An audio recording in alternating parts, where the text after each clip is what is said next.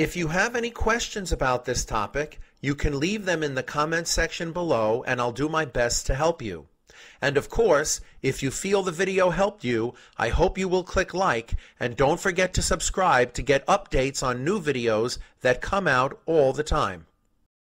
Your income tax withheld is not really what you pay as income tax expense. Your employer withholds income tax based on an estimate of what your tax expense will be. You need to file your tax forms to know how much your income tax expense really is. If your employer withheld more than your tax forms require, then you will get a refund. The refund means you overpaid that specific expense, income tax expense. Therefore, when you deposit the refund, it will decrease your income tax expense. So how exactly are you taxed? Well, during the year, you're actually paying an estimated amount of taxes on the income that you earned during the year. And this example year is 2016. Then after the year is over, you have to file your 2016 taxes before April 15th of 2017, before the first quarter of the following year. Now, if the tax forms indicate that you get a refund, that means the income tax expense that you recorded during 2016 was an estimate that is too high. So you need to make an adjustment to the tax expense for 2016. For example, let's imagine on February 5th of 2017, we deposited the federal tax refund of $400. Let's imagine on February 6th of 2017, we deposited the state tax refund of $150.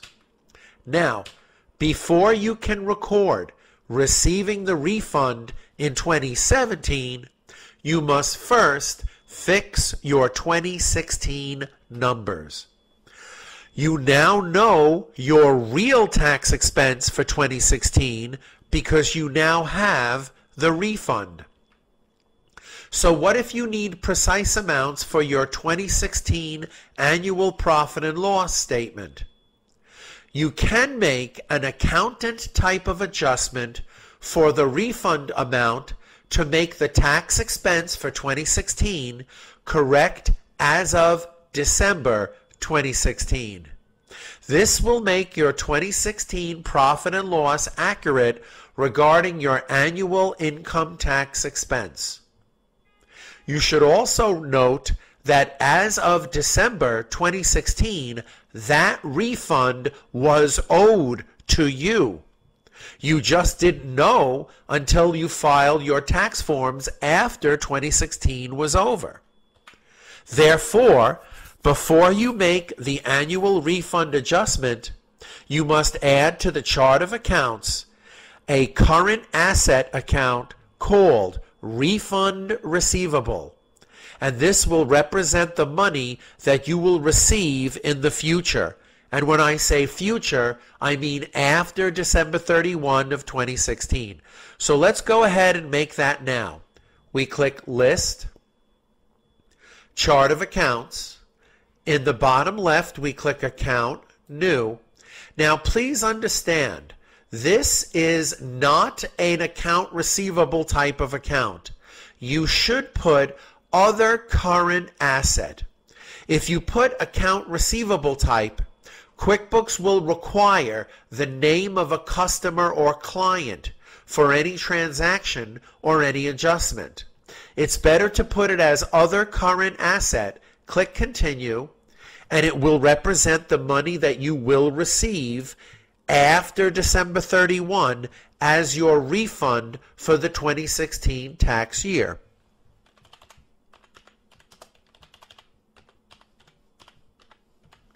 Now click Save and Close, and we are now ready to record the adjustment and the transaction. Now this adjustment is dated December 31 of 2016, but you will record it on the day that you receive the adjustment in 2017. And this adjustment will make your 2016 income tax expense decrease by the amount of the refund because that will make it become the actual amount of income tax expense that you had for the year. And at the moment that you do that, you know that your books and records should reflect the fact that after that adjustment, you will receive money that is owed to you from the government. So the December 31 adjustment makes income tax expense go down, but it makes refund receivable go up. So your income tax expense will be accurate on the profit and loss, and your refund receivable as of December 31 will be accurate for the balance sheet. So let's go ahead and think about what would happen on the day that you get the refund. Well, the day that you record the refund, cash in bank goes up because you physically received the refund. And because you have already received the refund, refund receivable goes down by the amount that you finally received. In other words, you no longer have refund receivable in 2017 because you got the cash in 2017. So now let's do our example. Let's imagine February 5th we deposited the federal tax of 400 and we deposited the state tax refund of 150. That means the total that was owed to you from two different departments of government as of the last day of 2016 was 550. So the amount of the adjustment will be receivable 550 and then each individual tax will decrease accordingly. So let's close out the chart of accounts and quickly open the trial balance before the adjustment. Notice that federal income tax of 900 and state income tax of 300 are both on the debit side. And if an account is normally on the debit side and you need to decrease it, then you make a credit to that account. And the credits will be these numbers respectively. So, what do we do? we click Company, Make General Journal Entry. And we know that the date of the journal entry, actually this is our first adjusting entry, but the date of the journal entry will be December 31 of our example tax year 2016. And we know that we are reducing our federal income tax by the amount we overpaid. And again, if it's normally on the debit side, we would make a credit to reduce it by the amount that we now know we overpaid. Same thing with state income tax. State income tax is an expense that would normally be listed on the debit side, but because we are reducing it for the amount that we just found out we overpaid, we will make a credit. And of course, the total that is owed to us from both federal and state goes as a balancing debit to the account that will represent the money that is owed to us until we record the payment, refund receivable.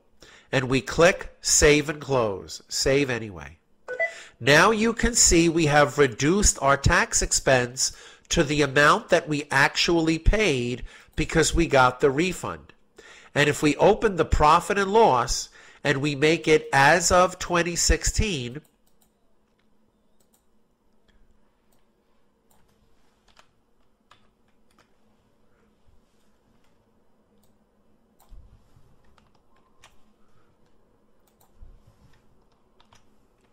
There we go. We can see that on our 2016 annual profit and loss, we only had $500 of federal tax expense and 150 of state because that's the amount that we really had during the year.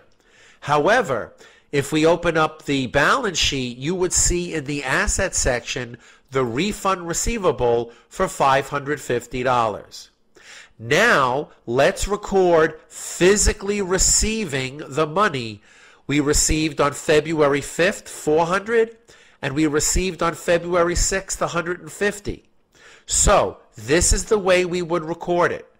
Banking make deposit and we deposited that money on February 5th of 2017 and the account would be the refund receivable for 400 by the way this is not this is exempt this is not included in the taxable income for 2017 so $400 decreases the refund receivable on February 5th because we will receive less as a result of putting 400 in the bank today. Save and close and notice the tax expense doesn't really change. The amount that we indicate as receivable changes. Now we have to record the February 6th deposit. Remember, when we click banking make deposit, you have to put the actual date that you physically deposited the money so that your QuickBooks bank records match your bank statement. So again, this is refund receivable. We received the remaining $150. And now when we click save and close, refund receivable is zero because as of February 6th in 2017, we received our money from the refund and now it's zero and you can see the tax expense amounts are correct for 2016 and the cash matches exactly what we uh, had in the bank because these transactions were recorded to the bank account.